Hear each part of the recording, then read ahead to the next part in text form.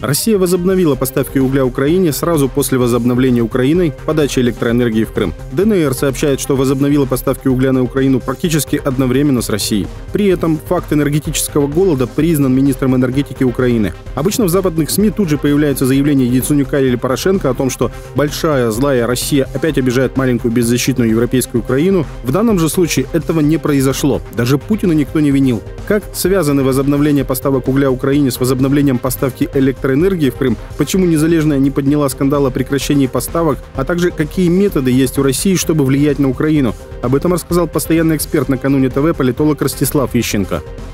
Президент Российской Федерации непосредственно указал на взаимосвязь в этом смысле и подчеркнул, что Россия восстановит поставки угля, потому что восстановлено энергоснабжение и действует контракт. ДНР действует унисон с Россией, да, это ни для кого не секрет. Министр энергетики Украины заявлял о том, что проблема не просто чувствительная, а критическая.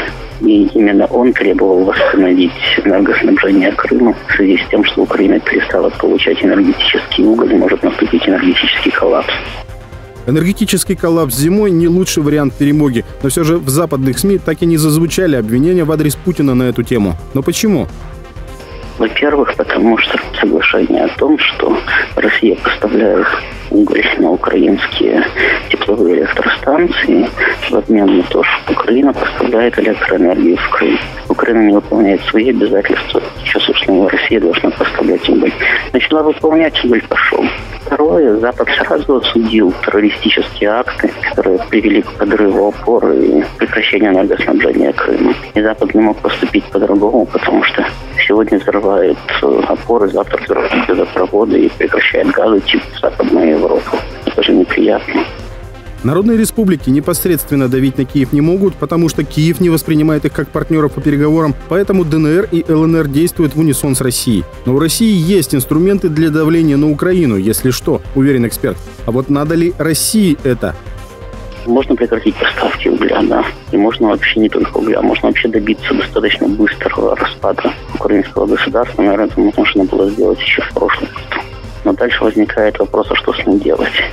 по мере возможности или по мере необходимости Россия усиливает давление на Украину. Но взять все разрушить прямо сейчас, я думаю, что это как минимум на сегодня нецелесообразно.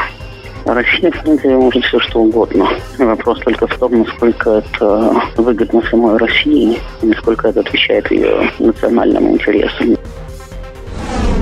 В эфире была рубрика «Экспертное мнение» специально для «Накануне ТВ». Подписывайтесь на канал «Накануне ТВ» и смотрите другие видео из рубрики «Экспертное мнение».